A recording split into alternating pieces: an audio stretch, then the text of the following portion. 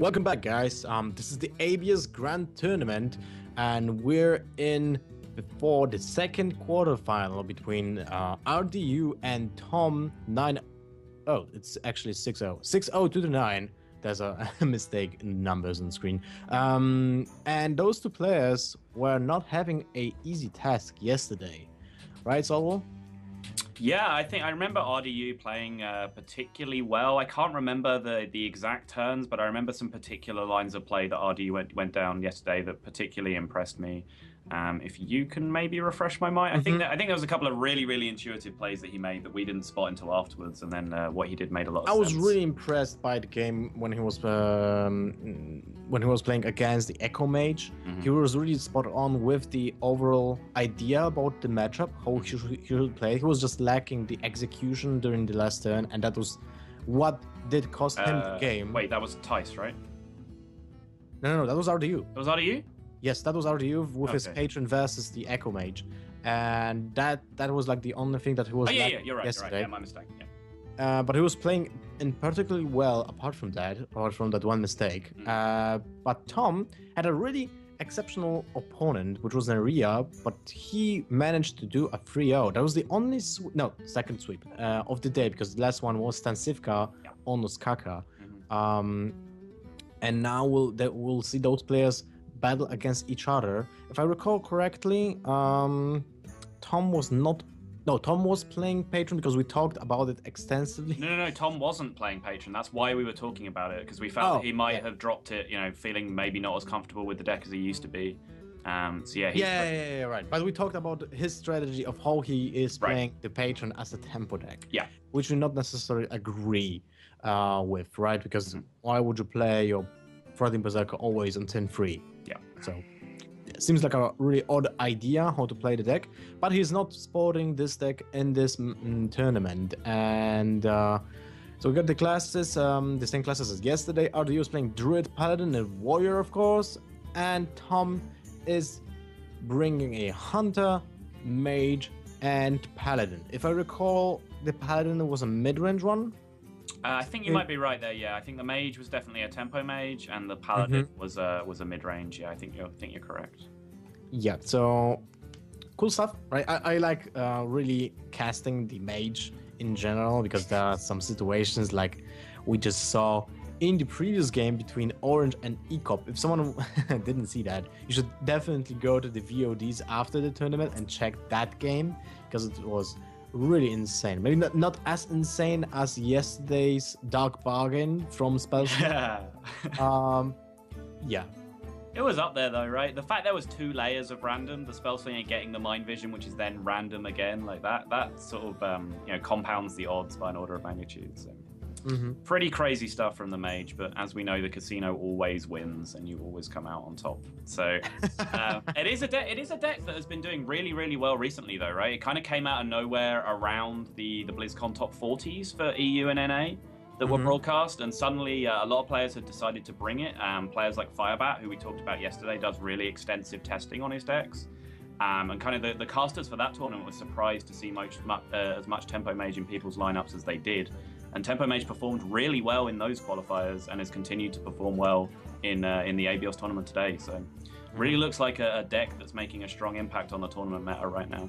One thing about this this deck I really dislike when I'm playing it, it's kind of unstable when it comes to draws. Kind There's a un- lot. It's kind of unstable, though. Yes, yeah. it's literally unstable. Yeah. also, uh, but yeah, not consistent. I would say when it comes to draws. Um, I mean, there's a lot of spells you can draw uh, in your opening hand, which are not exactly the cards you want to see. Right. Uh, because it's a minion-based deck, and the spells are just like a support role yeah. for your um for your for your main uh, objective, which is to keep minion on the board and gain tempo by cheap spells, which are top decked and just used to maintain board control. Right. Right. Um, Uh, so going into game one now, it looks like we have Tom on the mid-range hunter and uh, RDU on druid. This is classically a, a very good matchup for the for the mid-range hunter, and we see Tom is choosing to include a ram wrangler in his deck. How do you how do you feel in general about ram wrangler? Because it's a card that I've had many discussions with uh, a lot of players in, in my sort of uh, practice circle with. Uh, I love it um, when it comes to casting and streaming and be a viewer Sure. of this, uh, like to, to just to witness the randomness of this card. When it comes uh, to um, to be playing this card, I, I sorry, um, I don't think I like this card at all. It it's swingy. It's a good ward to start with, I would say. Mm-hmm. It's it can be backbreaking for your opponent, or it can be backbreaking for yourself. Because if you can get uh, like a parrot, one-one parrot, or yeah. a even a river crocolisk is not that great when you think about a five mana which you can just play on 10-5, right? Yep. A loader would be better most of the situations. Can be more impactful in the um, uh, in the game, mm-hmm. but at the same time, if you get a Savannah Highmane on 10-4 because you just coined out a Ram Wrangler, right. right? Or a King Krush. well, you know, those games are usually won by a hunter. Yeah, actually, just to go into uh, monk, monk stats land here for a while, I actually did the breakdown of Ram Wrangler just for my, my own personal satisfaction, and the average beast is actually 3.3, 3.7. Um, 3.3, 3.7. That's actually a lot. So, yeah, and then on top of that, there's 38 beasts, and 18 of them have beneficial effects like stealth or stealth or taunt or death rattle or something like that. Um, mm-hmm. But like what that doesn't factor in is when you don't have a beast on the board. Ram Wrangler essentially summons a zero zero, right? It just doesn't work. Yeah. Um, so I'm still not convinced on the card, but yeah, the overall value when it hits is almost, you know, consistently pretty damn high. Um, so yeah, I, I I think the card is reasonable, but anyway, getting back to the matchup here, the, uh, the oh, did you see that? Whoa! Did you see that? Well, okay, so in a lot of situations, a Flametongue Totem here would be very nice with this Force of Nature, but it's completely irrelevant on this board, and far more important is the fact that the Piloted Shredder just got sniped down by three consecutive knives. what were the odds of that happening? Wait, there were four minions and a character on board. So that's like one three times one to five? yeah. Yeah, wow. Five times five times five, one in 125. That's actually really terrible for yep. and look at that. That is one way of putting it, yeah. Uh, is now being pushed to use swipe this turn, mm. and he can't follow it up by a minion. He can't play a Druid of the Claw. He can't play a Sylvanas because those are being traded away by the board and Tom has a follow up with Savannah Highmane. Yeah, that's the thing. If he does swipe here, swipe is just potentially game losing because of the follow up Highmane. He has the Sylvanas to come down and challenge the Highmane afterwards, but honestly, at that point, it's just too late, right? The Highmane is going to yeah. hit face, it's going to put him down to 10. It's just going to be so hard for him to climb back onto the board from that point. And Midrange Hunter just has plays for days here with uh, with his hand. He has the Shredder to follow up the Highmane later if he wants to, so Empty board, turn six, Highmane for mid range hunter. This is the absolute dream. So Tom just goes ahead and slams it. That's just absolutely terrible for RDU. Mm-hmm. Double Savage Roar in hand, not necessarily what you want to see at this point of the game. I mean, you have the big game hunter, so if Tom only plays one minion with no death rattle effect, you can snipe your own Sylvanas to take the control of the Savannah Highmane. Yeah, I think we are going to see the yeah Ram Wrangler Snake Trap here, which uh, really lowers the odds of the uh, Sylvanas stealing any anything relevant. There's three yeah. nice minions on board, but the board's going to fill up with three snakes as soon as he attacks as well. Um, and because of the deathrattle ordering, um, he does have the potential to steal one of the two two hyenas as well if he attacks into the Highmane. Yep. So he has to go for a defensive. Oh, he's playing around freezing trap in this situation, and a second snake trap will kind of be devastating too and just a, a, little smirk on RDU's face there. He knows mm-hmm, he's, mm-hmm. he knows he's lost the uh, the lottery there on the, the, the, the, secrets. Obviously, the play he made was pretty goddamn good against Freezing Trap because uh, he would have had a decent chance of just stealing the Highmane. But now he has a drastically oh! reduced chance, but he gets it. All right, he gets, it. but it's really awful anyway. There's an it's there's a bow which deals six damage at least, and there's no additional taunt. So you have three five, seven, ten damage incoming next turn if you go for the most aggressive play, which is bow and hero power. But double shredder seems like a better option, of course. It does. Um, the bright side here for RDU is that he does have consecutive heals here, and he doesn't need to use the Ancient of Lore to draw cards because he does already have double Savage Roar in his hand. So if he yes. can, he can get himself ahead on board using the two extra five five bodies just to stabilize and heal himself for five each turn. Um, he might be able to climb back into this game, but healing himself for five here. Hero power takes him up to 16, and then at best he can take down one of the shredders and hope that it's a zero attack minion. Uh, so there'll be five, seven coming back at him with the hero power, uh, and then 10, 12 in his opponent's hand. So RDU has to go face this turn. With the double Savage Roar, he can threaten lethal really quickly. Mm-hmm. Because that's basically 12 damage from hand if you have two minions on board. Yep. And that's yeah, that's enough to kill your opponent next turn. Yeah, I absolutely agree with you. Going face here does turn out to be game losing because now Tom just has lethal, but it's one of those situations in Hearthstone Mm-hmm. where making the best play loses you the game. And one of the one of the skills in really getting better in Hearthstone is recognizing when you made the best play and lost the game because of it. And in those situations, you need to keep making that same best play over and Yes. over again. Totally agree with you, and I would definitely make uh, made the same play. I'm sure of it. Uh, even like with with the same out, uh, outcome Mhm. with uh, from Tom. So yeah, that was definitely the correct play. Because why would you attack with the Savannah into a Pilot Shredder just to spawn a new minion and gain nothing from that? Right. You potentially only take one or zero damage off the board Mhm, if they get a mhm. nice roll on the on the shredder and you lose out on six damage to face and don't set up lethal for next turn. Like it's just clearly better to attack face there. So even though the play was game losing, it was really well played from RDU to recognize that. Mm-hmm. Well, that ridiculous knife juggler RNG was just kind of walking miracles there. Yeah, it did level out a little bit with the Highmane steel afterwards, but obviously the odds of that were a one in three compared to the 100, one in 125 with the knife juggler. So Mm-hmm. um, And then the Flametongue Totem from the Pilot Shredder. yeah, If that minion will have any at- uh, any attack, it would decrease the amount of damage that RDU would get from from those um, pesky one-one minions on board. That Sure. would mean he wouldn't be dead to the exact level uh, in the last turn.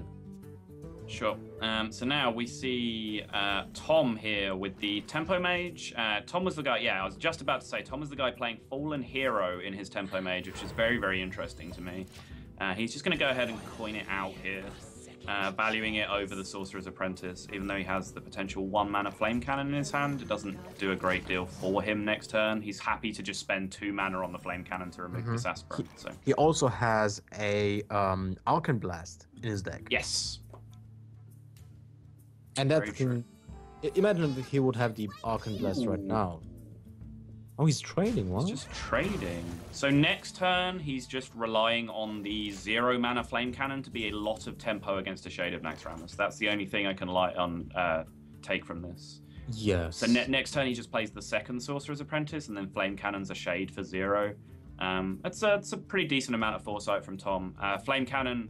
If you played a lot of this deck, you'll know how glorious it is to deal with shades, and he's going to get rewarded here as RDU does have a nice curve and has the shade to follow up. hmm That's really well played by Tom here. He gets the zero mana mirror image to come down as well. Um, nothing really to protect uh, from here, but um, he just chooses to generate it anyway. I might have seen him prefer to hold it just in case of something like a Flame Waker top deck or something like that. So You think so? I mean, he's um, he would like to stay on curve, uh, and against the druid, those zero two minions will most likely be on board every single turn, because even a swipe doesn't clear that, and there's a big difference. It's like you, you can say that those mirror images are basically like an Annoy-o-Tron and a half. Because they're really pesky to deal with, and you have to mm, lose two attacks from minions. Right. My argument is that he would probably have got to play them next turn anyway, because um, the druid was going into four mana. So you know, swipe on one of the sorcerer's apprentice or keeper on one of the sorcerer's apprentice is the worst thing that's going to happen. And then his Mhm. follow his follow up turn could have just been spellslinger plus the um, plus the mirror images anyway. But you have the added option of top decking the flame waker for additional value. Uh, Oh, that's true, but a innervate force of nature would be backbreaking on the double for uh, on the double Sorcerer's Apprentice. Sure. Okay. I mean, are you going to play around Innervate force of nature though? I don't know. I mean, I I think that was the play, right? Not correct, maybe, but that was the thing. That was thinking. Uh, that was the way of thinking from Tom. Sure. Yeah. All right. I can get on board with that. Uh, but now, finally, we have the first kind of slow-ish turn here for Tom. Uh, Bestial Wrath from uh, from Spellslinger is not exactly ideal in a in a non-hunter deck. Um, You can still get a beast from unstable portal, You like can. like to say King Krush or Tundra Rhino, Yeah, that can definitely happen. or the Warhorse Warhorse, right? Yep. Um, Five free minion, which so- can have taunt. Uh, sorry, charge. He chooses to trade in his his one health minion there just to play around second swipe a little bit, and then he's gonna. Um, I don't think it's about leaving the druid at the druid of the claw at, four, at one health this turn because he probably doesn't want to be pinging it anyway. He wants to be playing one of the big cards in his hand. Although now now the Now spell slinger might change that. yeah. And definitely will change a lot because you still have one mirror image uh, up. Oh, but actually, it's it's great for both players. There's a healing touch hmm for uh, RDU, and there's a polymorph for any big threat, uh, which will RDU play. And I bet this is the turn when you just play a turn six. I mean, not turn six, a six man and a Doctor Boom to pair it up with a Crackle to deal uh, to deal with a minion. Yeah, seems like a pretty solid turn to me. The big game hunter coming into his hand is going to be pretty crucial as well to, to deal with the Doctor Boom if that Mhm. comes down uh, from Tom. Oh, he doesn't he doesn't trust the RNG. Whoa. I mean, okay. yeah. I mean, it's not maybe the correct line, but it's the safest line. Hmm. Is it too safe though? Is the question. Does he feel that far behind that he needs to make the I play? think he might really fall behind if he doesn't kill the uh, spell slinger with the crackle. The odds are low, low, but at least you you push your opponent to trade into the emperor that turn. Yeah, that's fair. Oh, look at that. Well. Uh, so, the value of your big game hunter has been reduced a little bit since you're now only big game huntering a 7 3, but still. So what about Drake first? And you can leave the. Uh, maybe That's you'll just draw a wrath. Yeah, what else does he want to play? Yeah, you almost certainly should have played the Drake first here, right? Um, I think even if you draw Wrath, um, it might be the play anyway, because what else are you going to Big Game Hunter? I guess Ronin has come into the deck now, so yeah, there is some merit to holding on to Big Game Hunter. I don't like the healing touch at all. This uh, this turn. There's no reason to play it. You're not dead at all. You want to And- you want to try and like bait your opponent into going Yes. more all in, yeah. Exactly. If you're like getting kind of lower on damage, you can bait your opponent to play damage spells to your face. So you then counter that by playing the healing touch with like no way of your opponent, you know, dealing with this. I think from RDU's perspective, it, the way he's looking at the game was like, okay, I just win next turn with combo anyway, so let's Mhm. just make this game as safe as possible this turn and just play any around any ridiculous worlds where I do die from from just straight up burn. Okay. Yeah, maybe maybe that makes sense. But I would like to sit on the Innervate, you know, because it can create some weird scenarios, especially with one savage, one mana savage roar in your Sure. hand, right? Yep. So it's one-one between RDU and Tom. Uh, the Tempo Mage fails for the first time when it had a decent opener, I would say. Mm, it did. It was really that one turn where he had nothing to do on turn five. Uh, the Bestial Wrath came into his hand from the Mhm. um, Spellslinger and just didn't really give him any options. So he was just sat with uh, basically a ping pass turn on turn five, and then uh, he was still denied being able to play his big stuff out on curve because he was forced to ping a Druid of the Claw the turn after on turn six. Um, and if you if you do slow down like that for one turn against a, a Druid, that's the turn where Druid will look really look to punish you and start to, to flip the switch and be aggressive back against you. And uh, that's exactly what RD managed to do. So again, Yep. re- really well played by him. And I will be jumping into the Tempo Mage versus Paladin matchup. And this is favoring um, usually the Tempo Mage because of solely because of those um, Flame Wakers. Yeah, things like Flame Waker, Coin, Arcane Missiles, or something is just way too destructive. Uh, it can, even if it's a ball clear, it can be answered usually on curve by the uh, True Silver. Um, but at that point, it may have already got too much value, even if you can catch up with it. And we do see Mhm, the mhm. the uh, Flame Waker being brought into Tom's hand, opening hand here. But you know, no mana worms, no mad scientist, nothing ready to play early. So he's going to fall a little bit behind early, unless the uh, the unstable portal is kind to him here. Let's say an Edwin Van Cleef. I'll be insane. But at the same time, don't you want to. S- no, you have to play it. Yeah, I think There's no do. reason to hold on it. Well, Sure. I mean, that's that's decent, right? It's basically an armor. Yeah, it's basically an armor smith that doesn't heal you. You know. Yeah, but it plays around uh, abusive surgeons. Yep. Yeah, totally reasonable. Um, but yeah, g- generally, like the one-four body when you're playing patron warrior is a lot more important early than the armor gain. So having a one-four is pretty interesting. I'm surprised that he chose not to play it there. He might save it all the way into denying a mysterious challenger. Maybe is his thought process here. Mhm, Since he mhm. can play it for free, no, he's just gonna play it out this turn. Oh, commanding shout. That's interesting interaction and when both decks rely on minions heavily. Right. Hmm. Certainly is. Um, so, he's going to put the Weblord down to three health here using his weapon attack. So it looks like he is planning to, to chew through that at some point, maybe setting up a Consecrate for next turn. Because uh, now he can Consecrate and just attack that again with the weapon and clear off the 3-4 with some of his tokens. Uh, I find it interesting that Tom is not attacking into the 1-1s at all. I mean, you just played a Flame Waker. Mm. You want to push your opponent to use both Haunted Creepers to destroy the Flame Waker mm-hmm. with the board, right? So, uh, in this situation, you will have more targets for a second Flame Waker. Yeah. Uh, it will work fine anyway, because uh, RD will be popping both Haunted Creepers anyway. Yeah. Which I find interesting, because he had the option to keep one he did, yeah, but having just seen the Flame Waker played, maybe he's not scared of the second one. He knows Flame Waker. I think I think when someone plays one Flame Waker with no effect, when you're playing a Spellslinger already, uh, when you played already a Spellslinger, it just means telegraphs. I have a second one. You think it's more likely they have it? Okay. Yeah. yeah, it just means it's, it's so reckless to play right. the uh, the first Flame Waker with no eff- with no real effect on the board when it's the MVP card against um against Secret Paladin Right. it's just telegraphs this. We do know, know that. I mean, you mentioned the Spellslinger. Um, he couldn't have played a Spellslinger that turn because the Nerub'ar Weblord was in play. So, you know, maybe he did just value playing out a minion on curve. We know that Tom is that sort of player, but I, I kind of agree with you. Generally, when you see really powerful cards used for no value, like sometimes you'll just see like a Patron Warrior just put a Warsong Commander on the board against an aggressive deck, and it's like, well, he probably has the second one then, and he just doesn't need that first one. Yep. Um, but he's going to choose Agree. not to go for the, the Flame Waker here. Which I agree with. One Flame Waker and one Frostbolt isn't going to make too big of an impact on this board.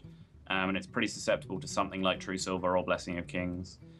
Um, so yeah, I, I agree with uh, him just drawing some more cards this turn and trying to, to stack up the resources he needs for the big Flame Waker clear with, with mm-hmm, you know cheaper mm-hmm. cheaper spells, especially something like Arcane Missiles. Ooh, a tempo deadly shot. I found it. I found that interesting. I mean, it's really powerful with the avenge and competitive spirit at the same time because it basically denies a uh, a flame waker. Mm-hmm. Does it deny it? I mean, you get first the random randomized damage from. No, you get it after the first spell. So if Tom plays haunted, uh, haunted, flame waker, plays the Commanding Shout first, kills a minion, and then can follow it up with a frostbolt to a avenge minion, that's a pretty nice clear. Yeah, that actually that sounds pretty oh, reasonable. Ooh, he goes only for one spell. Oh. That's kind of far fetched. And he oh. twice to the face. That's even better for him. I mean, that's better for him because he he's not proccing the avenge. Uh, he didn't actually play avenge that turn, did he? I think. Oh no! Uh, oh no, he did. No, no, he did. The Avenge. Oh yeah, he did. Green. Okay. It, that was weird. From from the other perspective, the Avenge was green in his hand, so it looked like it was uh, it was playable. But once it wow. switched back to his turn, and yeah, the mysterious challenger just comes down and more or less locks out the game here, right? How do you come yeah, from this? Definitely. The the Loatheb is just like a, you know, just a bonus here. Yeah. I play Loatheb and I seal all those spells you have in your tempo mage. So you can make a comeback, you can rely on those spells maintaining board control after you play minions. So yeah, that's just sealing the deal. And honestly, what what what what could Tom even be looking at this turn? Because even if you had like a fireball just to snipe down the six six, that doesn't help you because it just comes back as a six one, and you can ping it off, and that's your entire turn. And then the, one of the other minions has got buffed by avenge in the meantime. So it's pretty difficult to make sort of any sort of dent in this board without having a board presence already. Mm-hmm. And there's a repentance also on board, yep. so you have to play around that. So, yeah, you have to play the Fallen Hero, paying one of the two dos, but that leaves a avenge uh, on the board, which then has to hit the then just has to hit the Spectral Spider, so you can play the Flame Cannon yeah, so you can either take the one in three flame cannon here, or yeah, make this play, which is just freeze the biggest minion on the board and hope that that's mm-hmm. good enough. I don't know if he's playing a flame strike, but this looks like a play that's playing to a top deck flame strike, and uh, Loatheb is just going to put an end to any of that nonsense whatsoever. Yeah, no shenanigans from mage here, no value from minions. Uh, sorry, from spells. And that's And it. yeah. That's that's it. RDU takes a 2-1 lead over Tom, and um, he's left with uh, Warrior, right? Yes. Yep. And Warrior will be facing a Mage deck and a Paladin deck, which now depends on few builds of patrons that we saw. If RDU plays Double Fiery War Axe, uh, this puts a higher win ratio uh, for the Warrior against the Mage, which might be really impactful. I would say the, the weapons might be really impactful because that's what you want to get against those minion-based decks, Yep, for Es- sure. especially when there's no Annoy-o-Trons, no Snowchuggers to limit your usage of weapons. Yep. Un- Unstable Ghoul is another very important card. It's just the absolute best minion you can possibly proc uh, Mirror Entity with, but I don't think we've actually seen Mirror Entities in, in Tom's deck. He might actually be playing the Secretless version, because I don't think we've, Yeah. we've seen Mad Scientist. He's playing the Fallen Heroes instead, which I guess No, is a no, no. direct replacement for the Mad Scientist. There was there was no mad scientist either, so Yep. yeah. And RD is playing the Dread Corsair version, so most likely one for your Warax. Yeah, and probably means only one or no shield blocks as well. That that Would- tends to be that version. hmm Oh, what I find interesting, wow, Tree of Life. what I find it's uh, interesting is that the fact that when people play Dread Corsair, they tend to cut the Fury Warax, when actually Dread Corsair has a synergy with Yeah. Fiery War Axe. It's weird, right? I mean, it is in your deck just for the insane tempo that you get when you Death Bite something, Mhm. um, or just for the additional burst and the additional free minion on board to buff up like a frothing combo when you have second swing of, of Death Bite up. But yeah, it does seem slightly bizarre that you you know you put this weapon synergy card in your deck and then you cut a weapon to make room for it. So Yeah, exactly. And now the I mean the the uh, fla- uh, flame lance is not exactly the type of spell you want to get against a patron. There's no target which is basically bigger than 4 HP in this deck apart from Emperor, which is the biggest minion, and you can deal with that with almost everything because even Flame Cannon deals with it easily, right? Yep. Yeah, Flame Cannon does okay against it. Hmm. Um, but you know, it, it, it, if you don't have the flame cannon option, flame lance will be a nice little option for you to not have to spend a, a fireball on it. Um, at least you get uh, get to use a card that can't go face. Look at that. Death's Bite on turn 4 when he's already frozen for one turn. Hmm. Still, nice turn just to drop a Dread Corsair for 0 mana and lock down some damage incoming unless there will be a spell to deal with it. Yep. I mean, he does have the flame lance, but flame lance for four mana on this thing does not look like what he wants to be doing. Uh, so it looks like this is just going to be a flame wave arcane intellect turn. And if that's the case, he probably wants to trade first, right? Yes, You're- yes, yes, You're, definitely. you're never you're never going to hit three shots since there's only two. You Uh, have to trade anyway Yeah. into this minion, so why would you lose damage, right? Oh, he goes go super shot. greedy. Interesting. That's very interesting because imagine if there would be like double, um, double uh, AOE damage right now. I mean, I would definitely use the Warsong command of Unstable Ghoul this turn. What do you think, Sottle? Um, on Commander Unstable Ghoul? Yeah, it looks reasonable. Um, but you know, you could do with the the second charge of Deathbite being up. I don't think you're too worried. I mean, if everything does go wrong, you have the the Tree of Life in your hand for an emergency uh, reset at the end of the game. So I don't think you're too worried about taking a little bit of damage, and you can just go for a bit of value over time here. Just play the, the Unstable Ghoul. Uh, oh, I'm surprised he's actually whirlwinding here, but I guess it does let him use the Battle Rage. But honestly, I would have wouldn't have minded using the Unstable Ghoul just to get one damage on everything and just clearing it up with the death bite next turn. Okay, yeah, sounds like a good plan. Also, um, he has to remember that he used one armor smith already, and that's very crucial when it comes to life gain. But he got the second one in the battle rage, so that kind of changes the, the whole changes the whole plan. He still needs any AOE damage that can be dealt with. Uh, that can deal um, damage to the armor smith and some uh, some minions, let's say like patrons. Uh, mirror image is an important card against weapon class in general. They basically act like an, Annoy-o-Tron, uh, which has to be dealt with two attacks from minions or just with you know two strikes with weapons, which steals a lot of tempo from from the warrior. And yeah, well, that's the That's the main strategy of the tempo uh, tempo mage in general. Hmm. Are you is he forced to use the depth spider here? Might kinda. First Warsong Commander will be probably used just as a means uh, as a mean to deal with the um with those pesky mirror images. So I don't blame him at all. You can clear the board here and just maintain board control. Oh, that's interesting. He will sacrifice the Taskmaster. Actually, that's way better than just Taskmastering your Armorsmith, what I'm talking about. I mean, your Armorsmith would be a free one, so it can be pink next turn. So it's definitely a better option to have the Armorsmith full, with full with full health on board than a, a free one Armorsmith and a two two and a two two Taskmaster. Yeah, for sure. You just preserve the full, t- the long-term value of your Armorsmith, and you you uh, make it so that both of these cards now demand an actual card as an answer from your opponent. And Tom is just left here with a pretty miserable-looking hand. Uh, none of these cards really uh, fit the purpose here. You know, Arcane Blast on the Warsong Commander, along with a ping, seems reasonable, but then you're starting to stack up the armor by not dealing with the Armorsmith. So. Mm-hmm, Uh, mm-hmm. I don't know. Frost, you know, in the same time, like frost bolting, you're giving up a lot of your reach.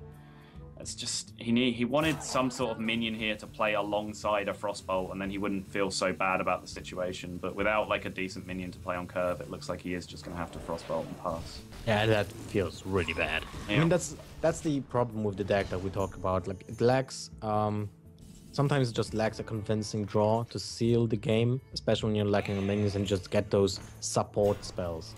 And Arcane Blast is, Arcane Blast and Flame Lance are basically the same spell. They they deal damage to minions. They Right. they are support spells.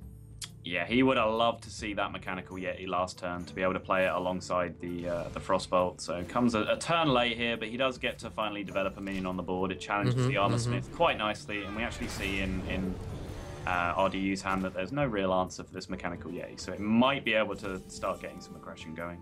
Yeah, but at the same time, you have Tree of Life in your hand, Yeah. so you don't necessarily worry about the damage incoming. The, and too bad Yeah. for him that he has armor, because the armor is being dealt with first, so the Tree of Life has no effect on you losing the armor.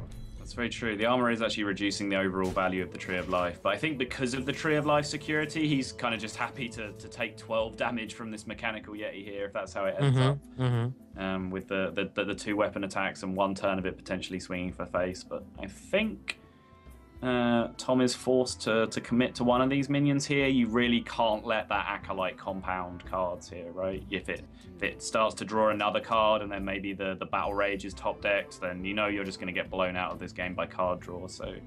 Yep. Limit, limiting the minions on your opponent's board and limiting the card draw is uh, usually the way to go in this situation against Patron. Because if you can card starve them, yeah, going as far as to use the Flame Lance here, I absolutely don't hate this play at all.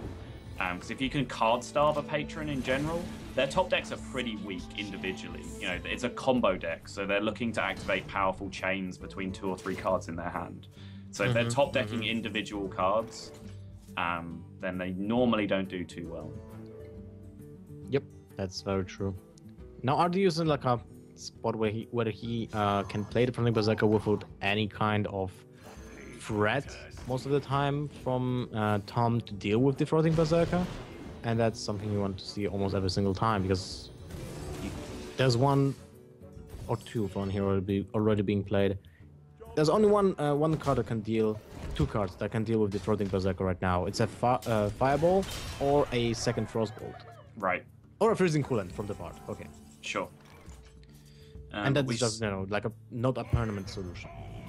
Yeah, and we definitely Emperor, although it's a very very powerful effect, not what you're looking for here. Only one card in hand, which is a one mana spare part, which is not a big Mhm, deal to get mhm. discounted. And what you really needed that turn was a way to uh, to deal with the frothing berserker. Is is he going to tree a life here? I think he has to. Uh, Uh, uh, the problem is he mean- can't really trade with the Emperor because if he trades with the Emperor, he has no more threats on on board and in hand. hmm. And if he uses the Tree of Life, your minions are are healed too. That's very true.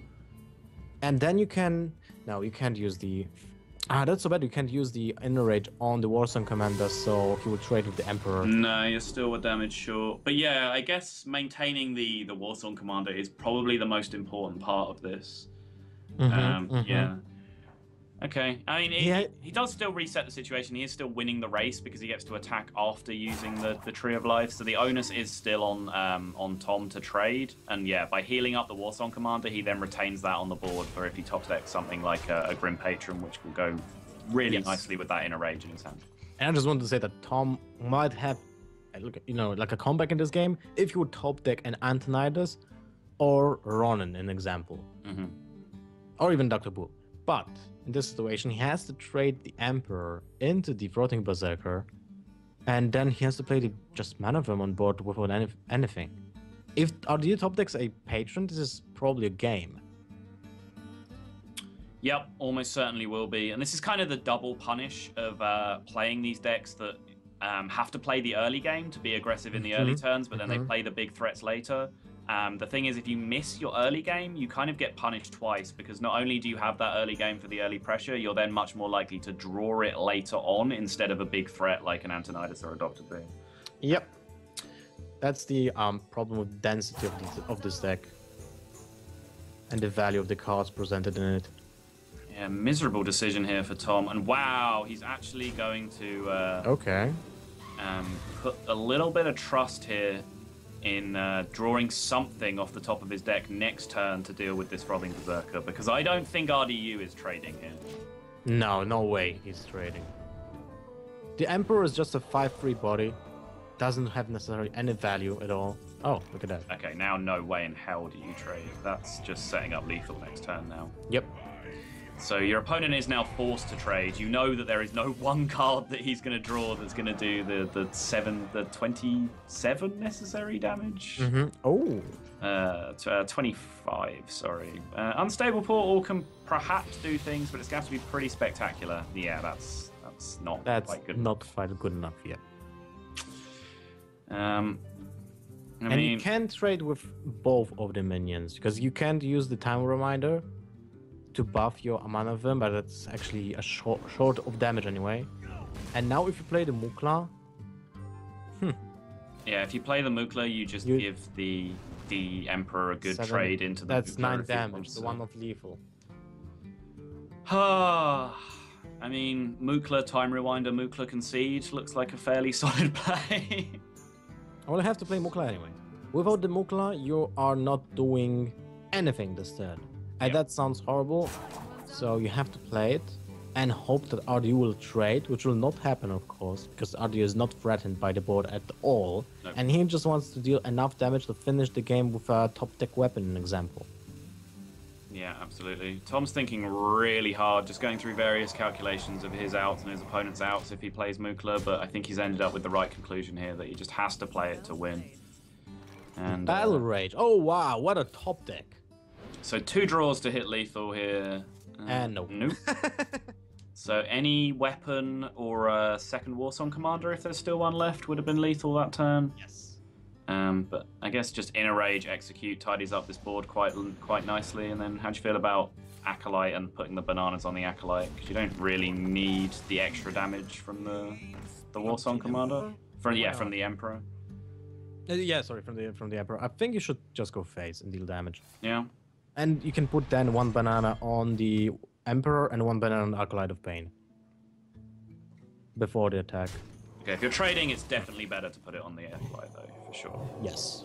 Um, yeah, which he does. But yeah, I mean, going face there and setting up lethal is perfectly viable as well. This is a, a thing I've talked about a lot on my stream. Is like people have different styles of winning one games, and this is almost certainly a one game. And it's just a matter of you know picking a particular line. Either you're going to try and grind your opponent out, or you're just going to try and end the game quickly and reduce the amount of outs they get to see out of their deck. Mm-hmm. mm-hmm. Um, and yeah, uh, RDU here seems to be going for the uh, the grindy. No! No, slam your own acolyte. Yeah, slam your Acolyte. Why you do that? He got he got Okay. the chain draws anyway. Yeah, let's just keep chaining card draw. Seems fine. So you don't care. Yeah, you don't care about the Antonidas at all. Oh, maybe you do. I mean, in this situation, just go face and next uh, next thing just depths by the opponent to the death, right? Spellslinger flame strike. Nope. no such thing. He's going to try it one more time, but I think with four mana, there's not a great deal he can get that affects this board and keeps. Frost Nova? Uh, Frost Nova would have done the job. Unstable portal. Into Ah. Malignite, but not enough mana to use it. So that's it. That wraps up the game. It was kind of silly ending, right? It was like top deck wars uh, between Patron and Tempo Mage, which usually Tempo Mage is an advantage because he has big hitting minions in his deck, and Patron relies on cards like Inner Rage, Whirlwinds, and uh, Slams, which are not necessarily the best when you top deck them. I mean, Slam is not that bad, but Inner Rage and the Whirlwind are practically horrible as top decks. So RDU takes the game 3-1, so he advances to the semifinals, um, but he's not playing against Orange because we had to skip a one match and place it later into the schedule. So um, let me check the brackets. And if you want to check the brackets, type exclamation mark bracket, which links you to the abiosgaming.com site of the tournament when you can see a neatly made bracket uh, with informations about it. So um, RDU advances to the semifinal against a winner of a match between Kaldi and Stan Sivka. Yeah. But before that, we'll see the the game we were missing last time. So Firebird versus Cypher will be uh, next. Sottle, anything to add from your side? No, just a really fun series there. A lot of uh, a lot of tempo mage shenanigans happening, which again seems to be the the theme of the day so far. Lots of crazy tempo mage games, but again, RDU following up with his strong play yesterday, more strong play today. So, looking forward to the next match, and we will be back after a quick five minute break. Don't go anywhere.